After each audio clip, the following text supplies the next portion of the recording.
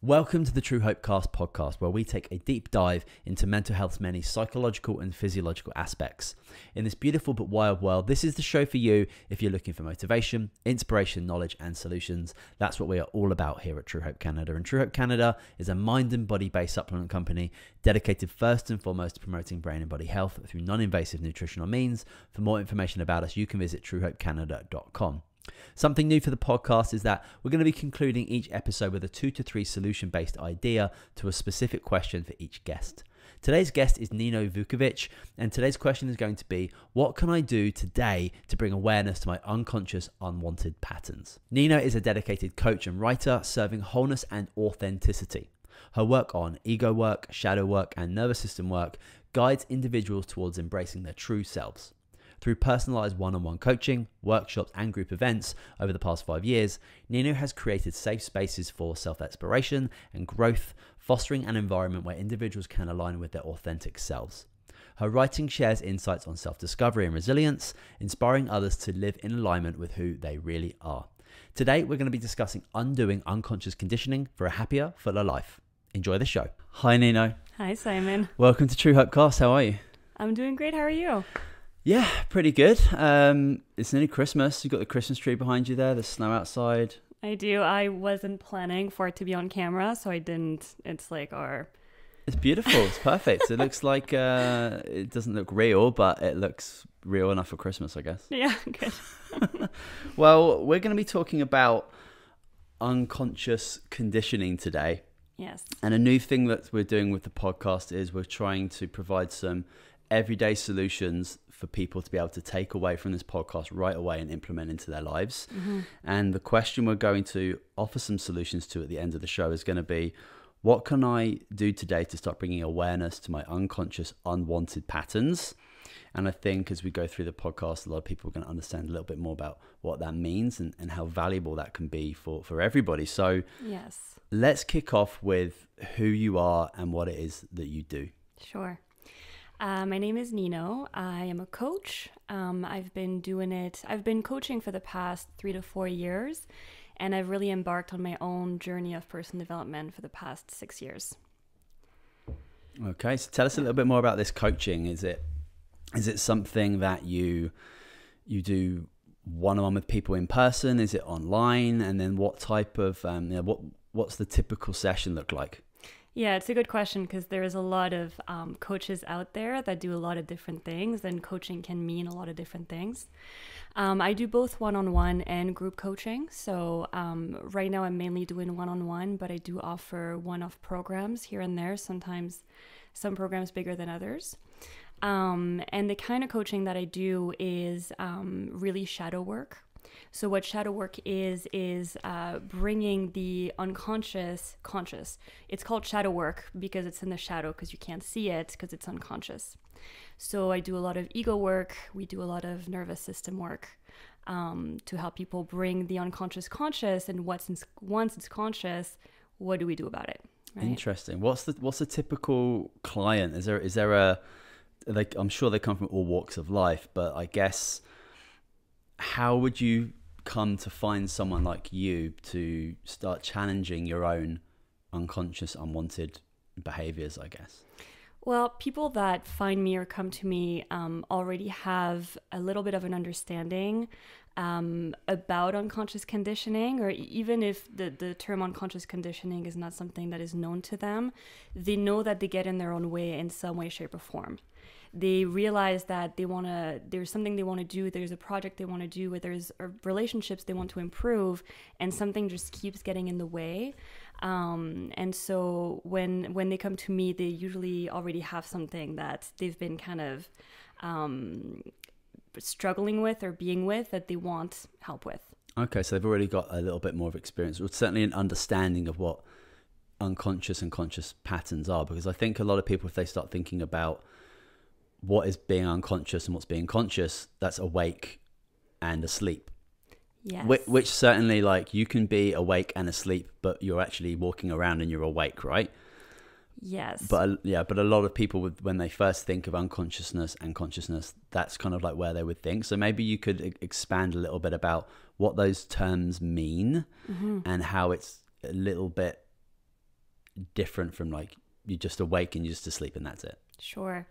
Um, first of all, I want to say that we're all a little bit asleep. Okay. Uh, the the path of personal development and the, the path of doing this work is using your life and and seeing how you're receiving your life to see where you're unconscious, and we're going to be talking a bit more about that. But um, um, wait, can you repeat the question? Sure. Yeah, I was just. I think a lot of people, when if they don't have the experience that you have, or they don't mm-hmm. have a little bit of an understanding about the work that you do, if you were to just say to somebody or like off the street who's got none, none of this, doesn't know anything about this, like what do the words unconscious and conscious mean to you? I think most people would say like, oh, I'm mm-hmm. unconscious when I'm asleep. I'm mm-hmm. conscious when I'm up and awake. Right. So let's talk about like what's the like the foundation of those words and how that flows into what you do, mm. which is helping people with their unconscious patterns that they have when they're up and about and awake and their brain is you know going on. Right.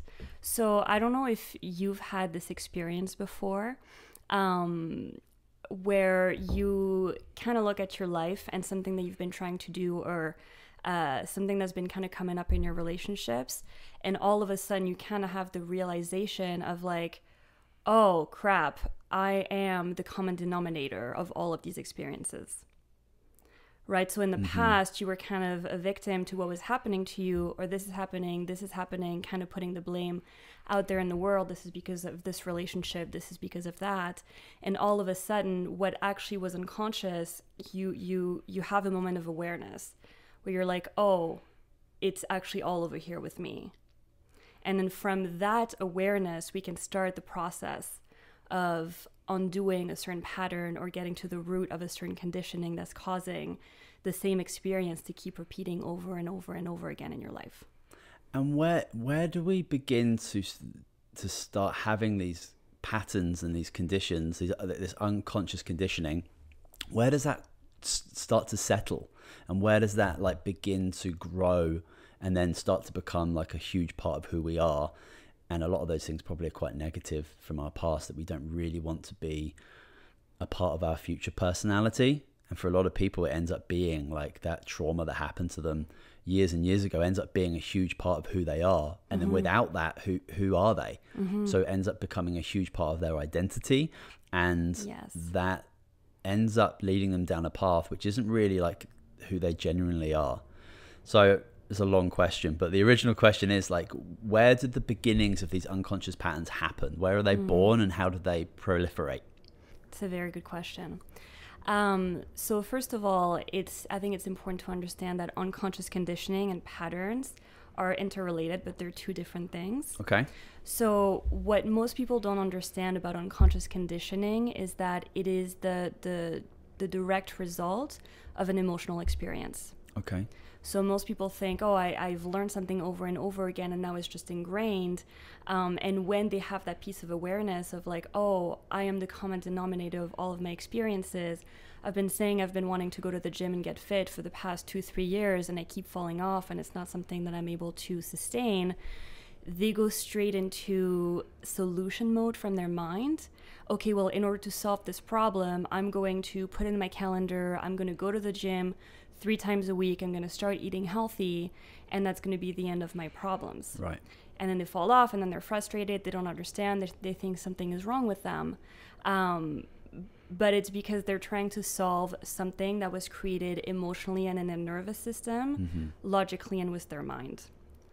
So i think it's important to understand that unconscious conditioning is the direct result of an emotional experience which created an emotional wound and Okay. when we talk about patterns patterns is something we put in place to try to protect ourselves from feeling that emotional wound. That original emotional wound that came up. Yes. It's the way that we've learned to cope with the, the, the, the, the wound and the pain that is there. Can you give us an, like an example of that? Of patterns? Well, of the of the conditioning that leads to the patterns. Like, is there like a typical example, perhaps? I'll give you a very um, normal and innocent example of how conditioning is actually the direct result of an emotional experience.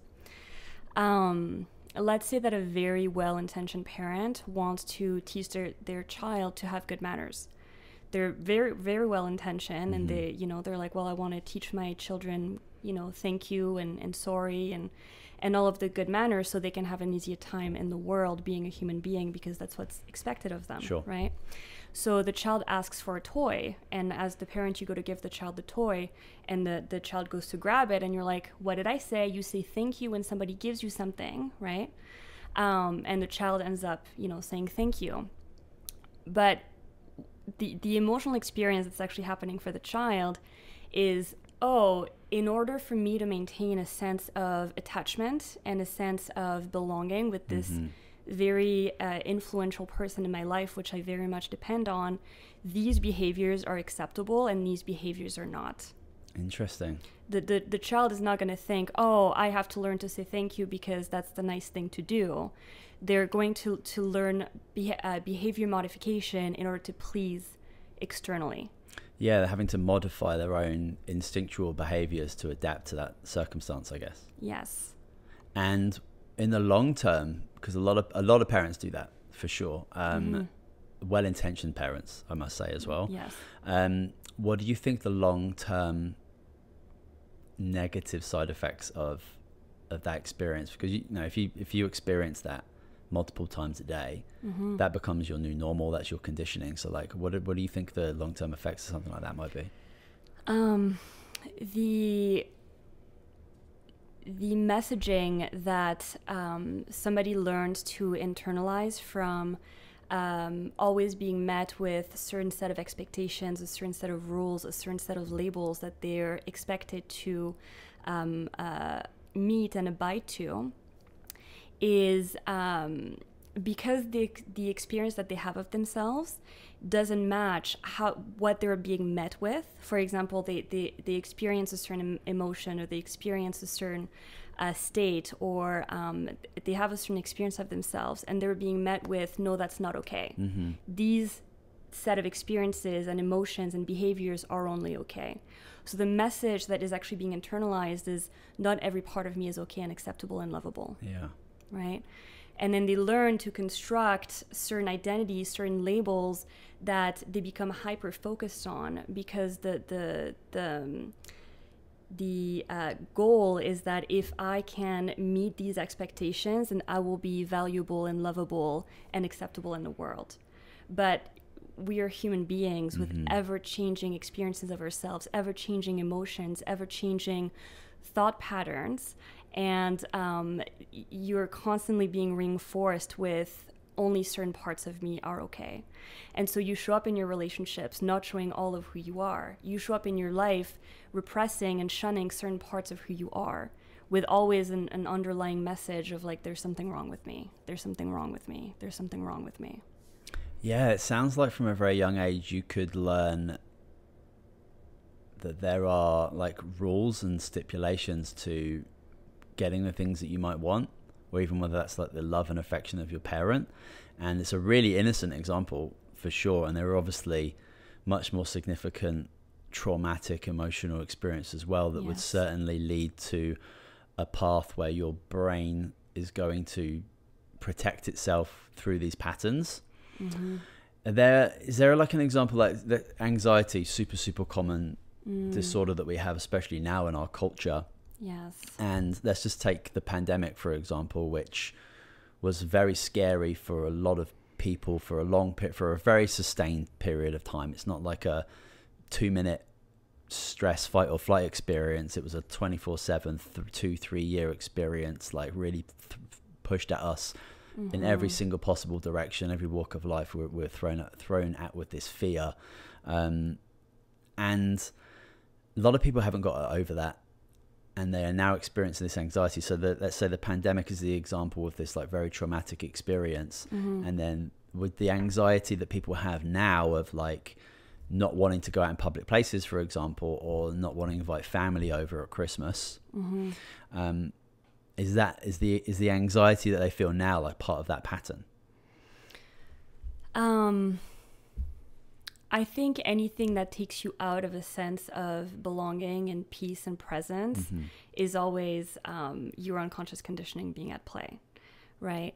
Um, with the pandemic, you know, it's um, it's not just the fear and anxiety of like being sick or getting sick or there, there's also the, the whole world became unstable and the the the very institutions that you thought were here to take care of you and the collective as well became a place that was unsure unstable and a place of mm-hmm. unsafety um, and I think safety is an, another one of those emotional wounds that a lot of people have.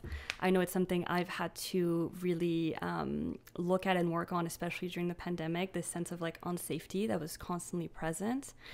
Um, so, like I was saying in the beginning, your life, whatever is happening externally, is always going to be a mirror to the unconscious conditioning and the patterns that you have.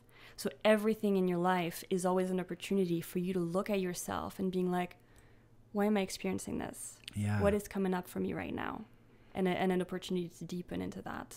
Yeah, I feel like a lot of kids, wait, um, maybe from my generation, that grew up young with their sense of safety maybe in question, perhaps, you know, um, whether that was just from like tough parenting, harsh parenting, like trying to you know, create strong individuals that maybe yes. was a part of like the parenting strategy in like the 80s 90s perhaps and then when we see something like the pandemic where the fragility of all of our institutions are shown in broad daylight and mm-hmm. how like fragile those are and how unstable they are and how unpredictable that they are um, i'm sure that sense of fragility in that moment starts to impact those patterns that we learned when we were young, right? Yeah. Am I, am I babbling on there, or does that make sense? No, that makes sense. I think obviously, you know, we have long lives and there's a lot of experiences that we have, but you really set the foundation. You create a certain foundation from the ages of zero till seven or eight, and then everything that comes in through your experiences is kind of filtered right. through that, unless and until it, it can be really looked at. So we yeah, can you repeat that for us? So from zero to seven or eight, 8 mm. years of mm. age, we develop um, some strong patterns for the rest of our lives. You you create your your foundation for all of your beliefs and identities and okay. the way that you see the world and and other people and the way you relate to the world and other people. Who are you in the mm-hmm. face of the world and the people around you, right? Yeah, and we can't. I mean, I don't remember anything from when I was eight but we've obviously created such a large part of our brain and our consciousness of our of our own reality in that time. Mm-hmm. So it only makes sense that 10 years, 20 years, 30 years later that you're not actually aware of the patterns that were solidified when you're 8 years old. Yes, and a lot of um, you know that's why I talked in the beginning talking about nervous system work.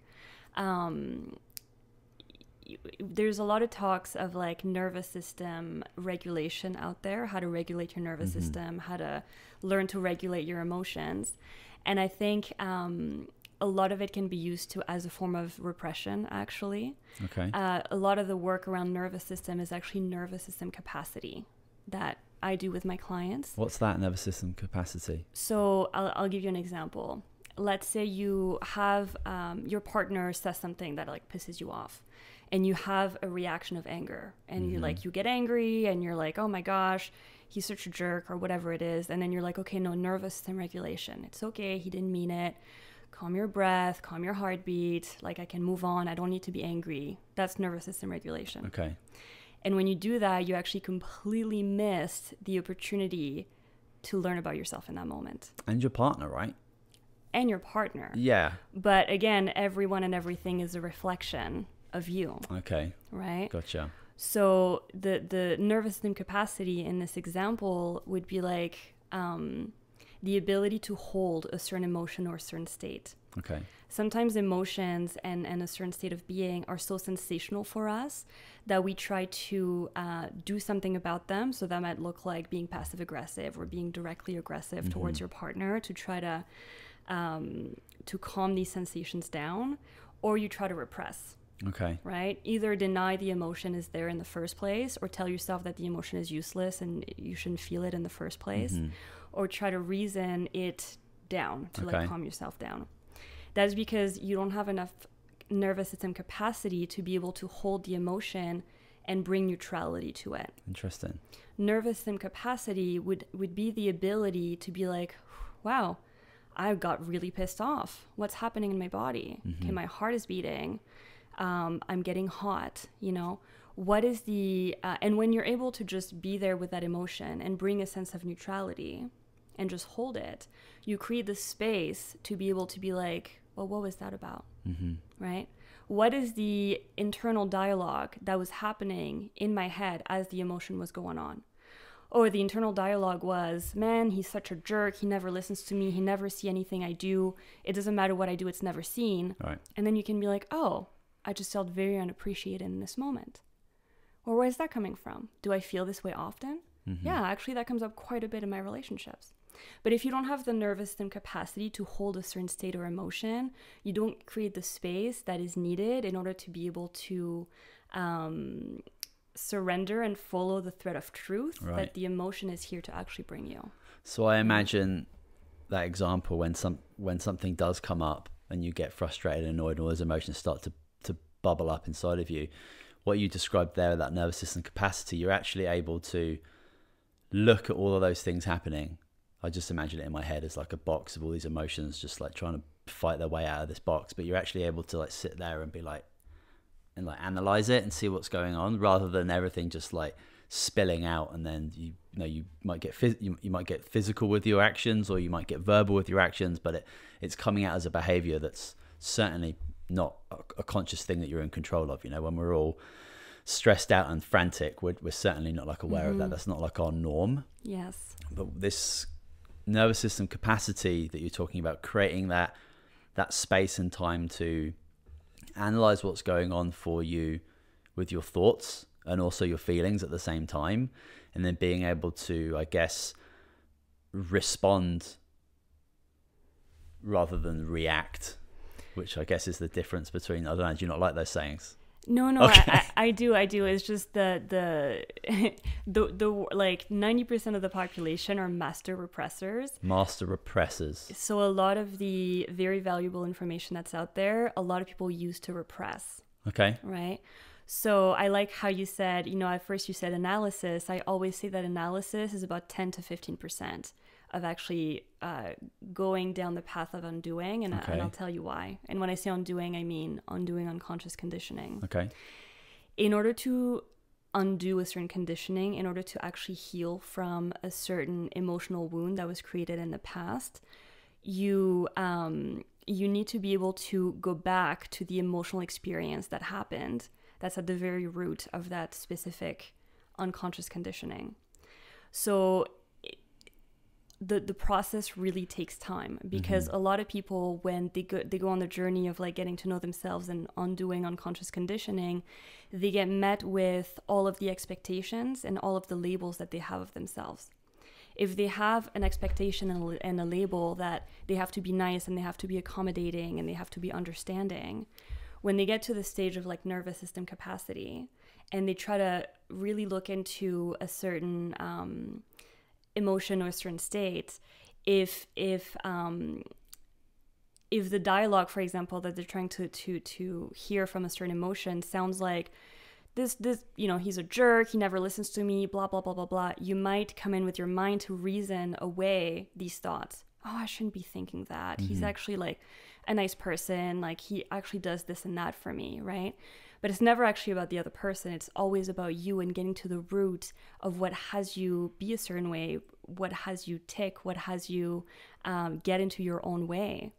And so, in order to be able to get to the root of a certain emotional experience, it takes a lot of time to actually thaw and allow reality to exist as it is without you trying to interfere with what is actually present. And for that, you need to bring a lot of acceptance to what you're feeling in the moment. And the actual healing part is when you get to the root of that um, unconscious conditioning, of that emotional experience, it's allowing yourself to feel it completely and wholeheartedly with full permission, just because you love yourself that much.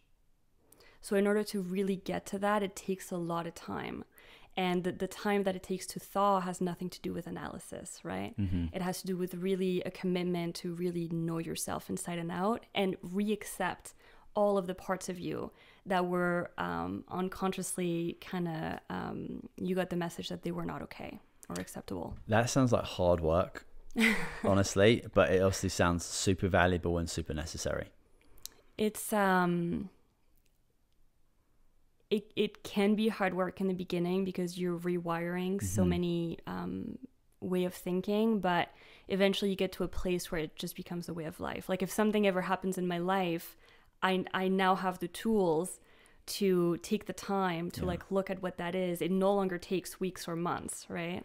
It sounds like um, you're getting pe- pe- you're getting yourself into a place that's actually quite a normal way of how you're supposed to regulate yourself and experience and what we've kind of learned and been experienced to with unconditional um, unconscious unconditional patterns is not particularly a healthy or normal way that we would do that a lot of pe- a lot of people's root cause of what they experience in their like now in their day to day in their present is going to be stuff from when they were like really really young. I said earlier I can't remember a lot of stuff from when I was eight, nine, ten years of age. So how do mm-hmm. you work with somebody or how do you work with yourself mm. to find that root when it's so deep? Yeah, um, like I mentioned before, even a lot of the stuff can be pre-verbal, so before you even had the ability to speak. Wow. Um, so that's that's where nervous system work really comes in because the the emotional wounds that were created were created emotionally and in your nervous system. So it's not necessarily um, needed to have a specific memory, a specific moment where everything changed. Mm-hmm. You know, often we don't even remember, we remember events how we experienced them. We never actually remember events as, as they were. Sure. Um, so it's not necessary to have a specific memory or a specific event. Uh, what comes with the work is learning to really trust what comes for you and that anything that comes up for you is completely valid and has a completely good reason to be there. And it's trusting that. You don't do anything because you're lazy or a bad person or uh, because you are too much or not enough. Mm-hmm. You always have a very good reason for any way of being that you have. So it's being able to trust yourself. And then something that I often bring to my work is parts work. So um, I'll try not to get on too long of a rant here, but what happens when you have an emotional wound is you you um, com- compartmentalize a certain part of you. You separate your consciousness from a certain part of you. So when something comes up and you react and you get triggered, or you get passive aggressive, or you get defensive or combative, or whatever, however that uh, pattern is showing up for you, it's being able to reconnect to that part of you, mm-hmm. and and feel whatever that part of you is here to show you or or is here to to um, to tell you through sensation, through your nervous system, through your emotions, because that was the language that you were speaking at the time. Yeah. What, does meditation come into this type of work? Like, I just feel like you would have to quieten the mind and sit the body down to get into just a space to be able to like really feel and listen and dig deep into these things. Is so is meditation a part of it? Yeah. Um, I personally, I've been med- I've been meditating for years, and I, I do um, include it in my work. So I do a lot of uh, workshops, and I include guided meditations. If I'm ever working with a client and I can see they're like, you know, struggling with something or, or um, grappling with something, I'll often pause and actually do a small guided meditation mm. to try to guide them internally to where they're trying to go, but they're too up here to go there when I first started um, coaching me as the coachee with a coach, I I went into the the coaching relationship with um, you know oh I'm like I'm here because I want to build a business and I have mm. all of these plans and blah blah blah, and for like a year and a half, every time I brought something to my coach, she was like yeah you got to slow down. You got to slow down. You got to slow down. I'm like, what does that mean? I'm not here to slow down, right? but it's really the ability to slow down internally so you can actually be with reality as it is and with whatever is coming up for you without your mind trying to come in and like make it their own or like you know um, spin spin you out of control really yeah. um, so I, I personally think meditation is very beneficial and i use it often especially when doing parts work and mm-hmm. trying to connect with a certain part of you so i think working with a coach is absolutely vital for anything. If you wanted to get in shape, if you wanted to start eating better, if you wanted to start doing all these different types of things, it's very good to have a support mechanism with you. But what's interesting about that is you might see that person for an hour a week or an hour every couple of weeks, and there are a lot of hours outside of that time. So, is there any like typical types of like homework you might give to somebody to actually like start practicing some of the things that you're working with? Yeah, absolutely. Um, my job as a coach is never to um, to teach people how to heal or to teach people in a way it is but on a deeper sense people already know mm-hmm. how to heal just like your body is always trying to get back to a state of homeostasis so is your emotional mental and spiritual well-being right mm-hmm. so it's it's uh, helping people remember and giving them the tools to actually be able to to be empowered to do it on their own. And so there's definitely homework and the, the work never stops because your life is constantly being a mirror to you for what is present for you as far as like patterns or beliefs or ways of being. You're constantly being met with um, the the the work really right? And so the, the coaching might be an hour a week or an hour every two weeks but your life never stops and the, the lessons never stops and the teachings never stop. And so you always have opportunities to apply the tools. Um, and I, I do definitely give my, my clients homework. What do you think is within our culture right now which is poisoning a lot of people's nervous systems physical and mental, I guess, that require to come and work with somebody like you? Mm. What I often say when I when I do introduction workshops to unconscious conditioning is, it is in our day and age in our society i don't it's it's impossible not to have unconscious conditioning mm-hmm. because we still live in a society that has so many rules and labels and expectations for how a human being is supposed to be. Right. What is acceptable, wasn't what isn't acceptable. Um, and you can see it especially in social media today how somebody being having a different opinion as you or having a different way of thinking as you they get canceled they yeah. get attacked right away that is that is a, um, a manifestation of that internalized uh, pattern that permeates permeates throughout our society. Yeah. It, does, it doesn't even have to be spoken, it just is, right? So, um, you know, I think healing little by little is a way to move forward in, in creating a world where that's not necessarily as necessary as it is today. Um, and I do believe the world is changing fast, and yeah. that's why you're seeing so much instability in the world right now. Um, but uh, yeah, it, it, is inevitable to to be completely without unconscious conditioning.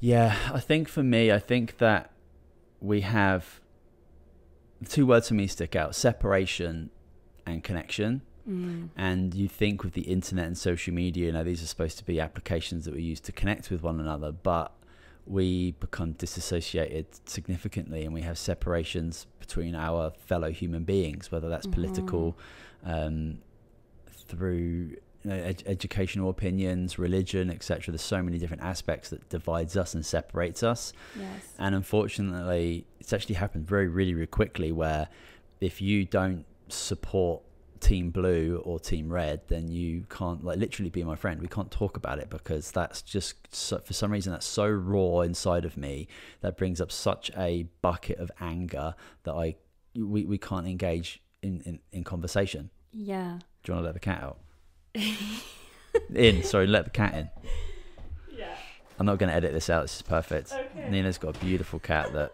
it's a bit cold out there now, she, but he's inside. He's good. Yeah, and is very vocal. Yeah. Um, I absolutely love what you say about separation and connection because on uh, whatever happens for you in your internal work like there is there's your individual conditioning and then there is the global conditioning So, whatever reactions you are experiencing that tells you what's out of alignment for you internally, the same is happening on a bigger scale Mm-hmm. globally.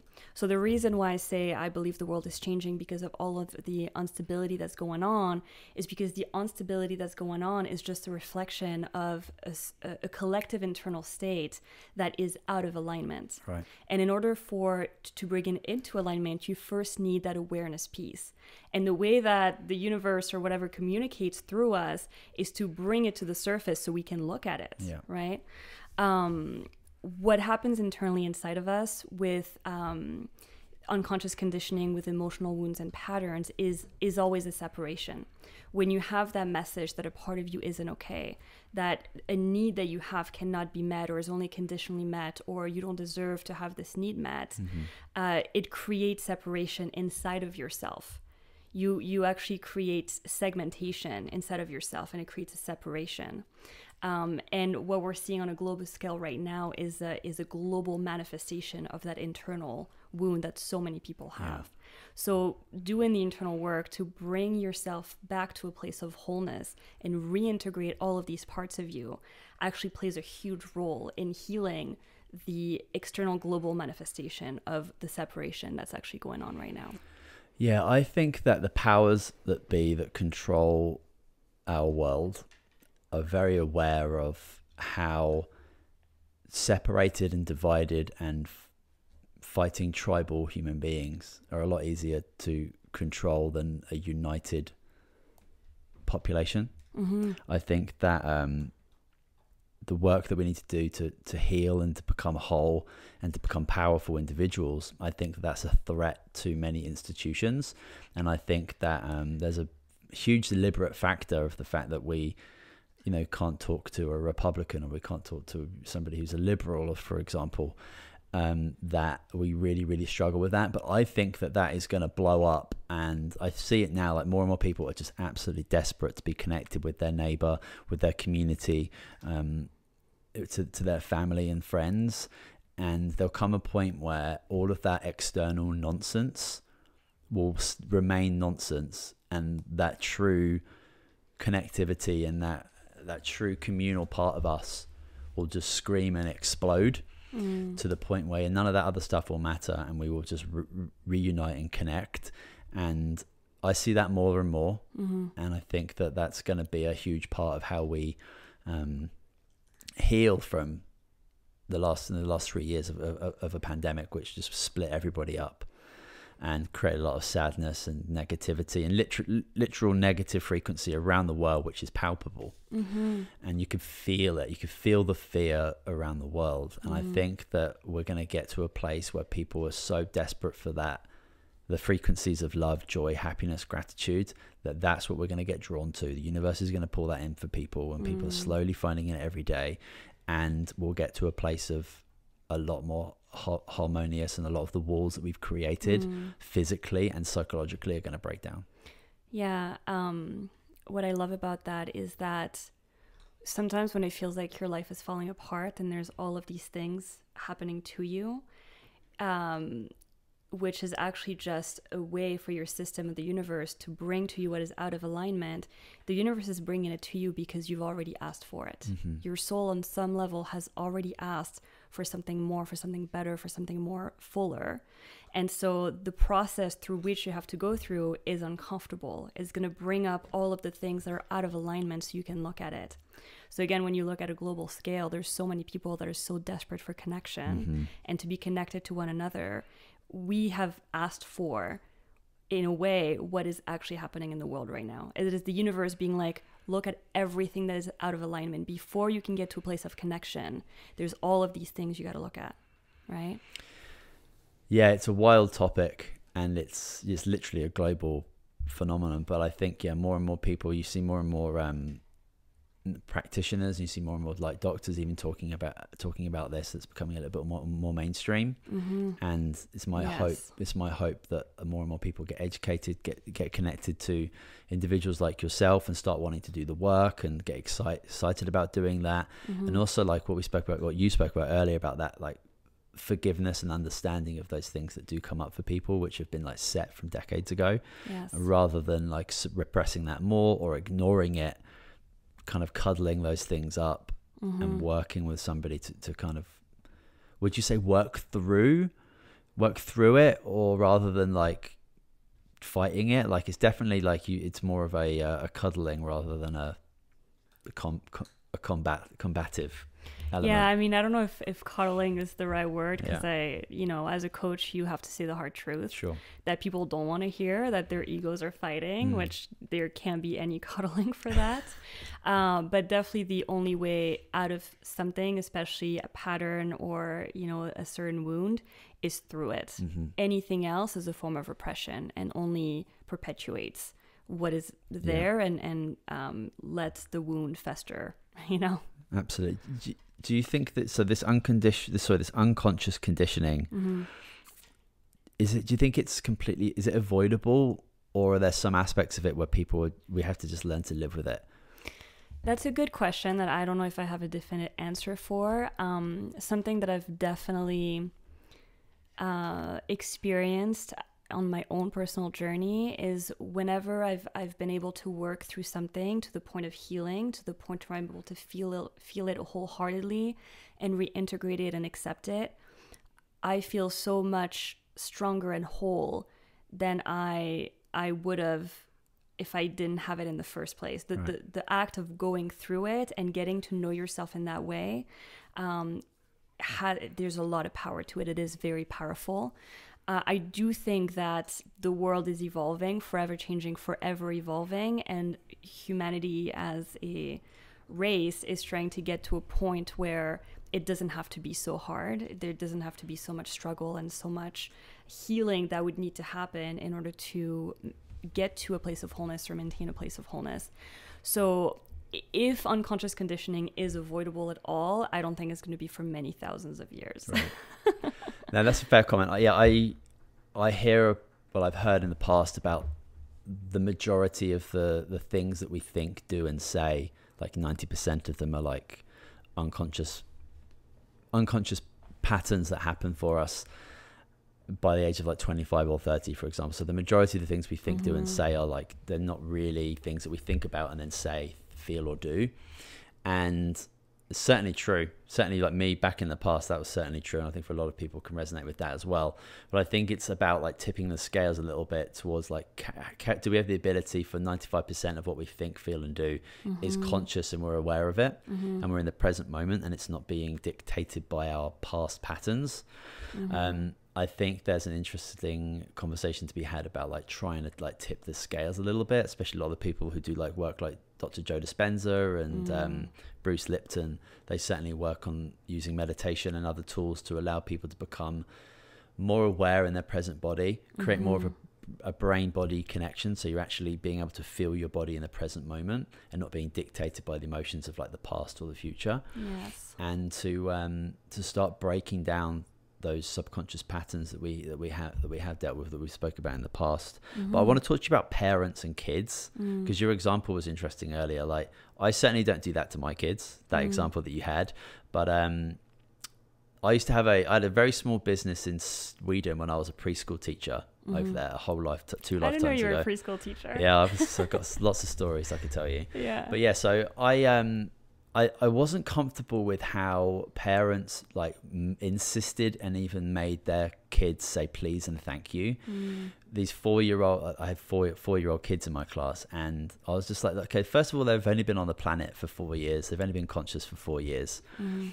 and to have the expectation that they would say the same types of things that a grown person would do is is not a really it's n- not an expectation you should really have. Mhm. But there's also a place to obviously help nurture the use of certain words in certain circumstances. You can't really get through your adult life without saying please, thank you, open doors and having manners, right? But there's Mhm. a time and a place to learn that and there's a and, and how you do that is very important as well. So I was really uncomfortable with like I would give a, I remember giving a gift to a like a 6-year-old Mhm.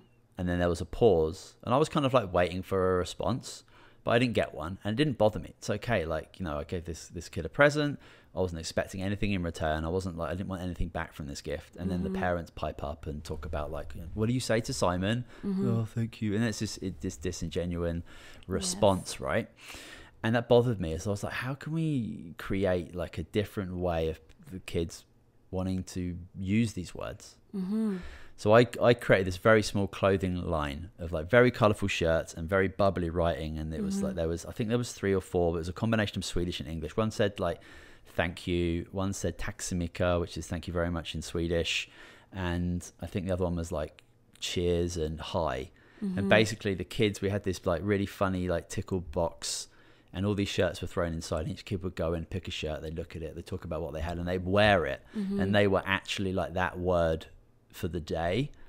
So that their word for the day was like please, or they had thank you on, and they would kind of use that, and they would, and then they would end up using these words in a fun, in a fun way, which I don't know. Like I'm not a psychologist or a child psychologist, but I thought that'd be a, much more interesting way for a child to learn through play how powerful language is, and especially these types of words.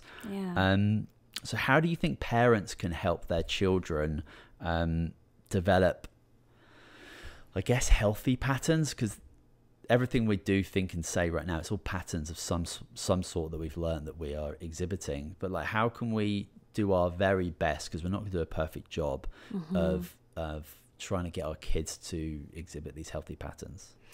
um, there's a lot there, and I, I loved everything that you said. Um, so, children develop like child development is actually something I'm very passionate about. I actually before I got into nutrition, I went to school for child studies because I wanted to work with children, and I worked with children for ten years in you know various capacities, as in like preschools, daycares, as a nanny. I didn't know that. Yeah, and uh, one of the one of the methods that we learned was the Montessori method, which is that a learn a, a child learns through play. Yeah. This is how children learn. This is the language of children. So I, I love the method that you use there. I always it always also always bothered me when I saw like you know um, people or parents again very well intentioned saying to the kids you have to say sorry. What do we say? We say thank you. And the, the kid says it but the kid doesn't mean it Yeah. right? Um so i don't have any children yet. I, I have one on the way obviously and it's something i think about a lot and, and I, i'm saving a lot of videos from very competent uh, therapists and child psychologists that i really like and it's your question is interesting as well because you're like how can we create healthy patterns? A pattern in and of itself um, means that there is an emotional wound to begin with. That's interesting. right? So uh, there, there's two things i want to say to that i don't have a definite answer for how to teach our children how to say sorry thank you and please in a genuine way. Uh, i haven't experienced that yet with my own children. Something that i've been looking at and that i absolutely believe is that uh, always coming back to a place of connection with your child is what will give them the space to to be able to express themselves in a genuine way. Mm-hmm. So instead of being like you say sorry, you say thank you, it's creating a space, a space of connection to invite them to say to say these things if the, these things if they want to. Sure. A child is not incapable of feeling gratitude. A child is not incapable of of expressing, um, you know, these these like words, these manners. Uh, and children also go through developmental stages. So understanding the developmental stages that they go through, um, because for the for the longest, not for the longest time, but for the first few years of their life, they are the center of their own universe Yeah. That's that's just their experience at the time. That develops eventually as they grow older but for a few years they are at the center of their Sure. whole world right? So i don't know if i answered your question Yeah. at all but um I, I think when you force a child to say certain words because that's what's proper you there's a lack of connection there. And the child might might say it but they definitely don't mean it.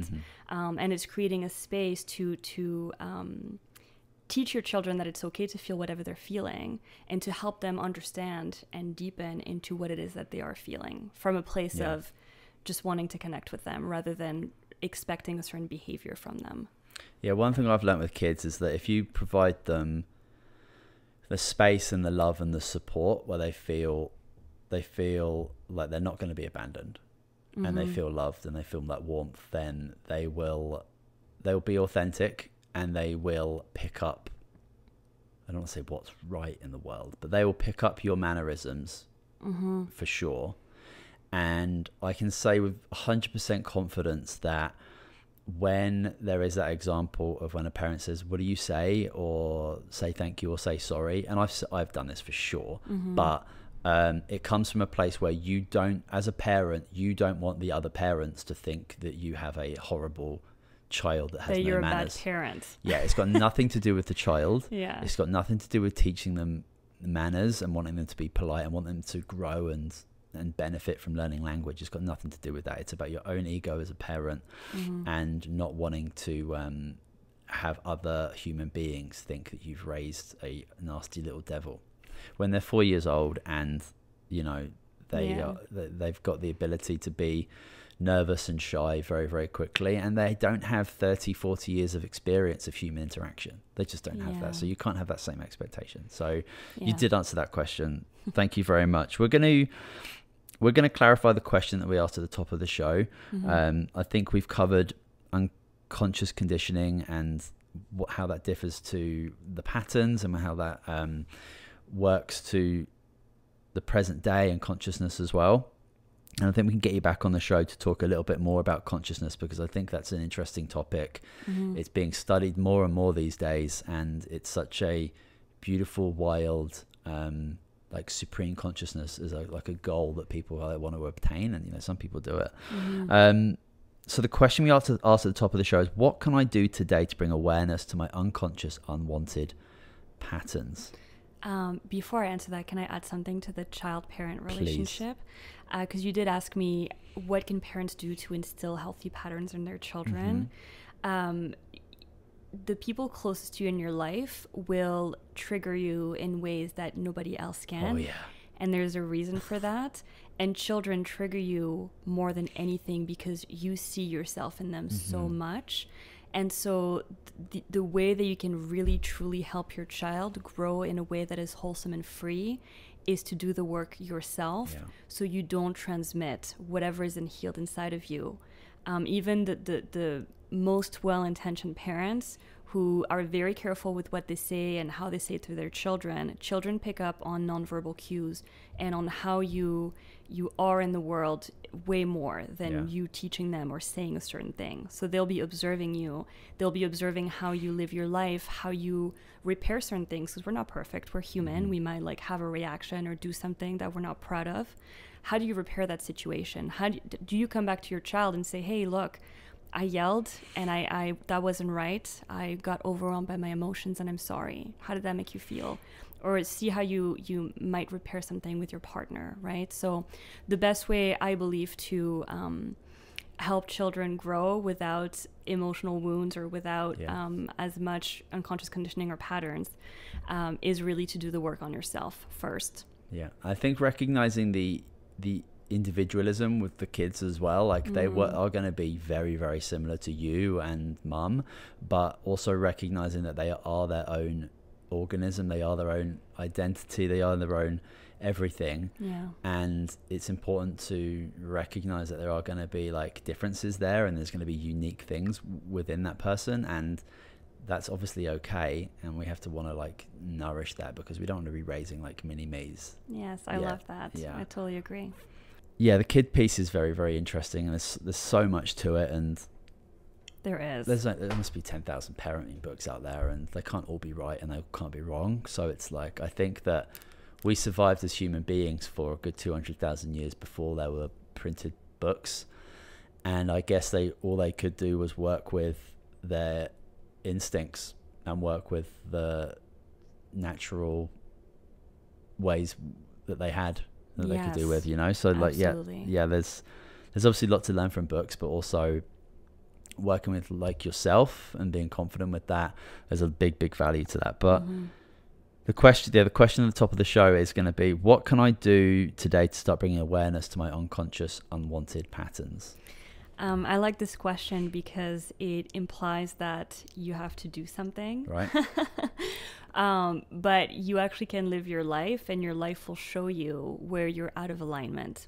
So, any situation in your life where you notice yourself uh, coming out of a peaceful, empowered state is going to be an opportunity for you to. Um, to look at a certain pattern. So somebody says something that triggers you. You find yourself getting upset or passive aggressive, or you find yourself going into an autopilot way of being. Uh, that is an opportunity for you to like pause and being like, what is that about? Nothing that is happening internally and inside of you is ever your partner's fault, the government's fault, the fault of whatever is happening externally in your external circumstances. Uh, it is only pushing a button inside of you and then holding up a mirror. So then it's the whole work of like slowing down and being like, oh, I am the common denominator of my experiences. Mm-hmm. What is this mirror here to show you about myself? What can I learn here about myself? So it's it's um I don't know if it's a really practical answer. I think I think most people can certainly take something from that, and they can see or recognize times in their lives when that's a factor. And I think there's multiple times during a day where you'll be able to recognize that. mm-hmm. Yeah. Beautiful, thank you. Well, do you have any? There's obviously so many books and podcasts about this topic, which is wonderful. Mm. Do you have any favorites that you'd like to maybe recommend people grab? Yeah, I mean, there's people that I follow that I absolutely love. Um, a great uh, person to look at when looking at um, the way that everything in our life is a mirror Mhm. is Byron Katie. She's someone that has helped me tremendously in my life through her work. Her work is literally called The Work. Um, and so I think a good book to start with might be Loving What Is. Um, beautiful book that's helped me a lot.